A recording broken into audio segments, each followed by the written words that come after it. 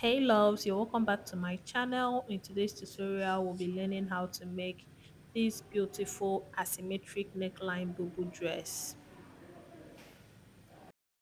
So for this tutorial i'll be using three yards and the three yards i'll be folding it into two which is one and a half um on both sides. And that one and a half will serve as the length of my dress and now I've gone ahead to fold it into two again the other way and yeah just do what you see me doing in this video now the next thing I'm going to do is to mark out my imaginary line I'm just going to use this ruler and draw out a straight line and then cut it off this is so that um all my down part will be straight line. I don't want to be short, running short of fabric anyway. So I'm just going to trim it off to make sure that all of them are equally laid. Now the top is what I'll be using as my shoulder line. The first thing I'm going to do is to mark out my shoulder measurement, which is 8 inches, 16 divided by 2, which is 8 inches. And from there, I am going to extend to my sleeve length, which is 13 inches. I'm going to mark out 13 inches for my sleeve length. Now, the next thing I'm going to do is to come down by one inch at that 13 inches. And then I'm going to use three inches for my neck opening. And I'll be using one and a half inches for my back neck depth now i'm going to curve it out i'm actually i'm not going to um draw out the front neck depth now. I'm just going to do the back. So now i'm going to connect my shoulder slanting to the tip of my neck opening. Now from the top i'm going to mark out 12 inches which is what i want to use for my armhole length. And then i'm going to go ahead to mark out 16 inches for my waistline.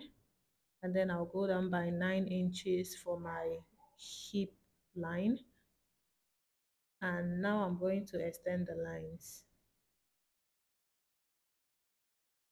Now remember this first one is my armhole length the other one is my waist and this one is my hip length. So at the armhole length I'm going to impute my bust measurement. My bust is 40 divided by 4 which is 10 and I'm going to add extra 4 inches. This is depending on how large you want your bubu to be. Now my waist is 28 which is 7 and I added 4 inches to it. And my hip is also 40 plus 4 inches, that is 40 divided by 4, 10 plus 4 inches, which is 14. Now 4 inches is for ease. Exactly what I have at the hip line, I'm going to come to the full length and also add my 14 inches and then use my straight ruler to connect it from the hip line to the full length of the dress.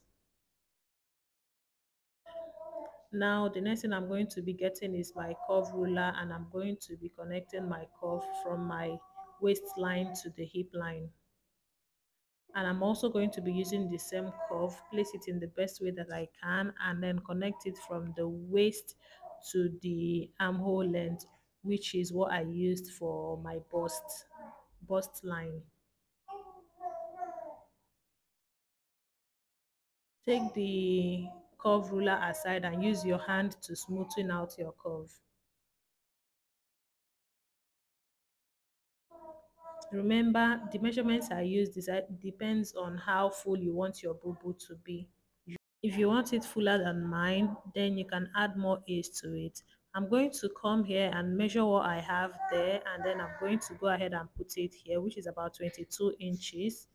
Now I'm going to use my ruler to run a straight line and this is my sleeve. Now what we're going to do is to go ahead and cut it off um, this point at this point i'm going to tell you guys to subscribe to my channel if you have not yet done that. And please give this video a thumbs up if you enjoyed watching. If you have any confusion do drop a comment and then i'll answer you. Now at the waistline, I'm going to go ahead and give it a notch. I'm just going to pinch the waistline and add a notch to the waistline because this is where my pocket will start from. So you need to signify it.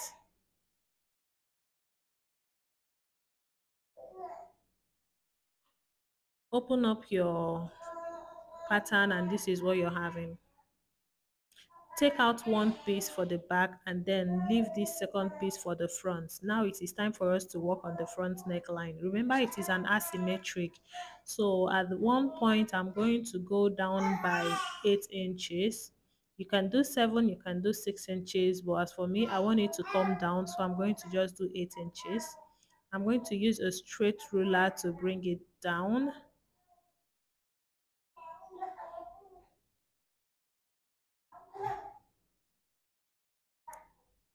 and then I'm going to get my curve ruler and also use my curve ruler to connect it to the other point.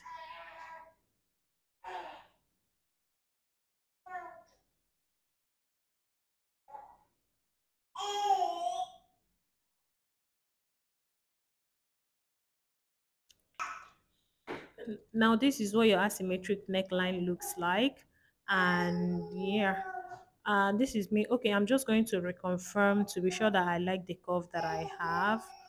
And yeah after reconfirming i like it and it's matching. So the next thing i'm going to do is to cut out this asymmetric neckline. So now we're going to go ahead and cut out our neckline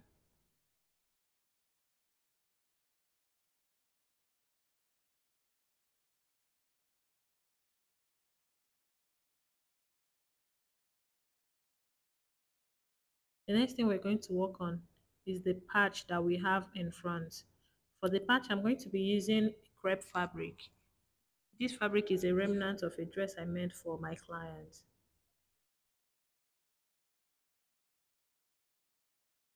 In the normal sense, if I was making the other design that I have in the picture, I would have used something bigger than this. But because my crepe fabric is just little, I'm going to manage this and I'm going to make a design that is kind of different from the one in the picture.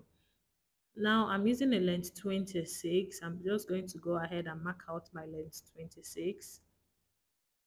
I'm going to extend the line and then I'm going to be trim it off.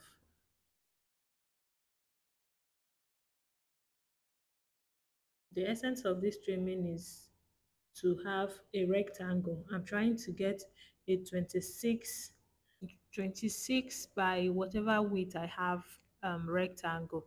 If I was making the dress in the in my picture, then I'll be using a 26 by 16 inches rectangle.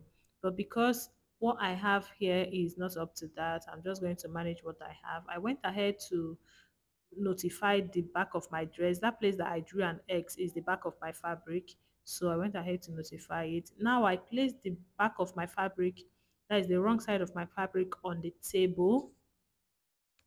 The wrong side is on the table while the right side is facing me.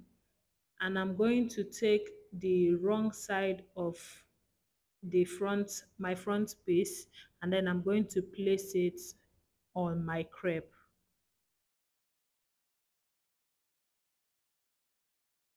Remember, the wrong side of my front piece is facing the right side of my crepe.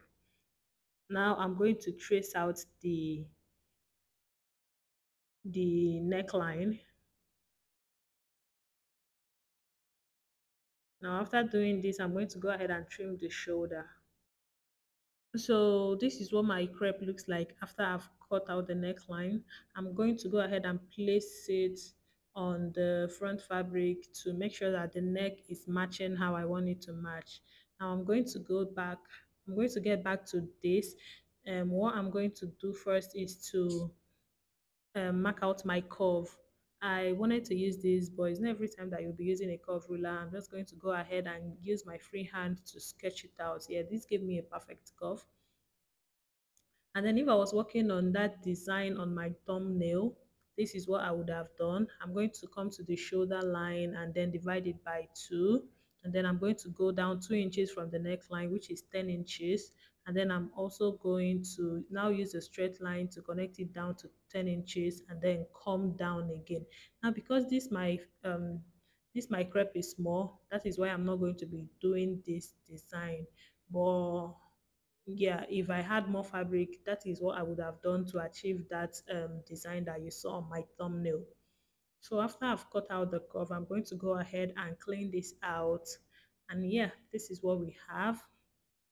The next thing we want to do is to hem the edges of this um, crepe. We're just going to go ahead and iron it by half inch and then use our hemming gum to hold it down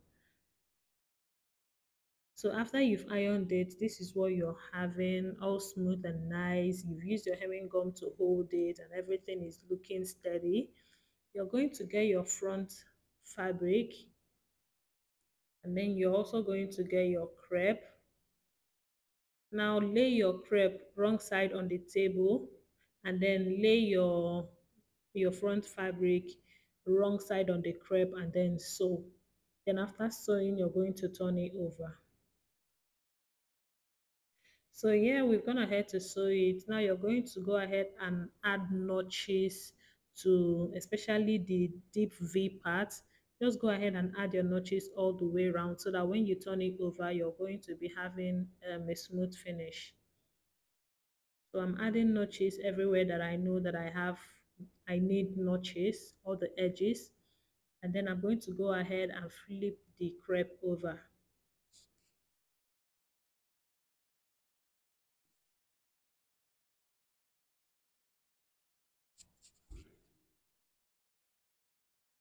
So now the next thing I need to do is to iron. Now it's time to work on the back pattern. The back pattern, I'll be using a facing for it. So I'm going to firstly fold my back pattern into two. And then I'm going to get my facing and I'm also going to fold it into two. Just get a sizable facing. Um, I did not um, show the measurement here because I just picked out something that I know would be enough for me. So I just um, folded the fabric and the facing and then I laid the both of them in such a way that I can trace out the shoulder line and the neckline. So that is what I'm doing right now. I'm tracing out the shoulder and I'm also tracing out the neckline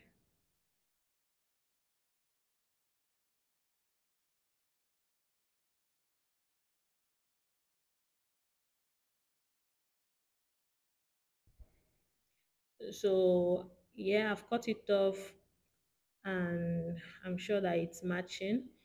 Now the next thing i'm going to do is to go ahead and curve it out. Eh, eh, yeah just watch me do this and just replicate what i'm doing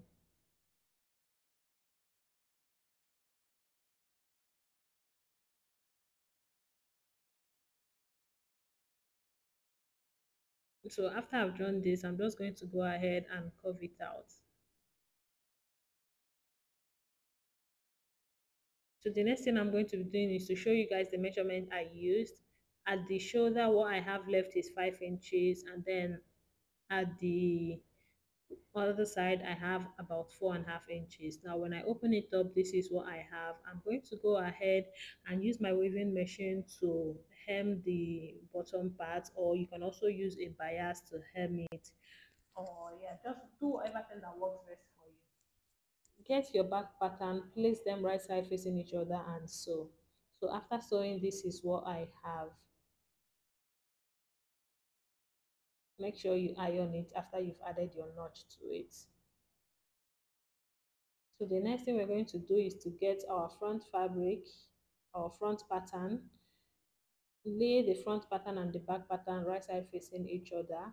Then use your facing to cover up the front pattern and then you're going to join the shoulder.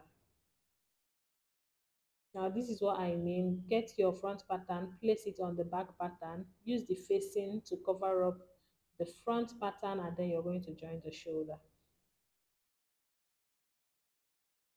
Now after joining the shoulder, um, as you can see the facing is flying away. So just go ahead and use your hemming gum to lay it down. That is after you've hemmed the bottom of bottom of the facing.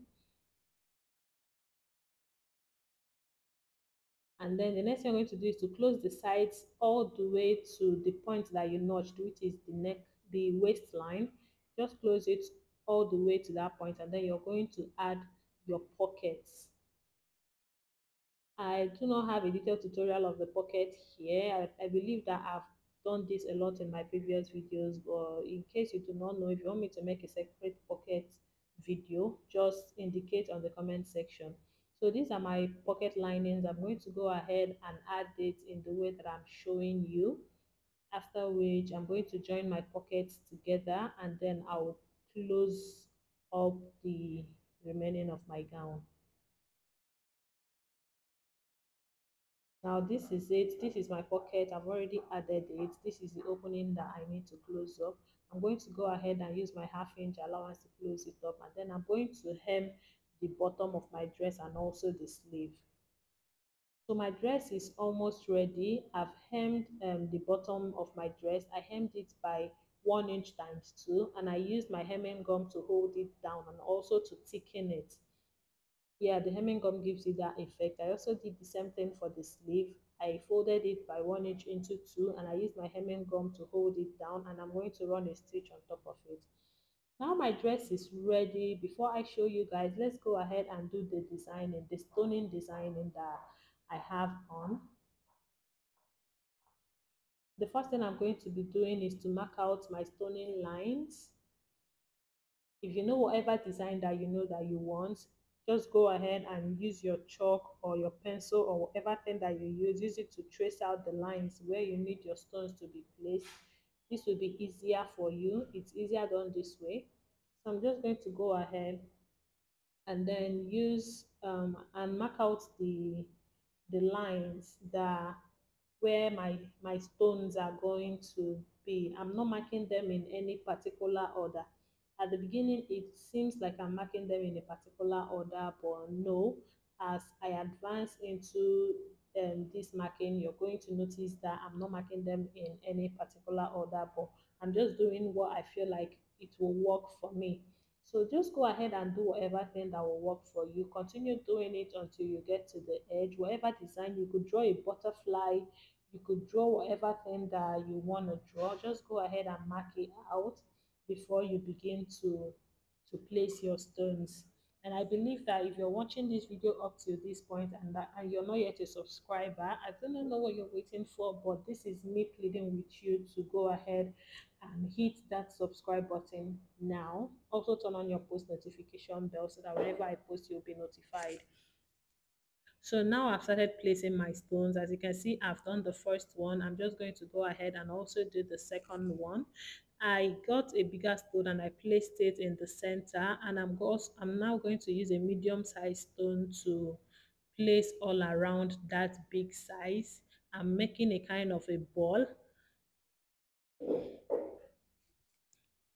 So I'm going to place the medium sized stones all around it. Now this ball is going to be on the joint of all these connecting lines. By joint, I mean, you should know what I mean by joint. So wherever the um, lines are joining, it's going to carry a ball. Then the other places, which are the, the lines itself, are going to have um, straight line stones. Then wherever the lines join, I'm going to be making a ball. Now I've already made um, three balls for three joints. So by this explanation, I already hope that you understood what I'm saying. And at this other joint, I'm going to be making another ball, which is four balls for four joints.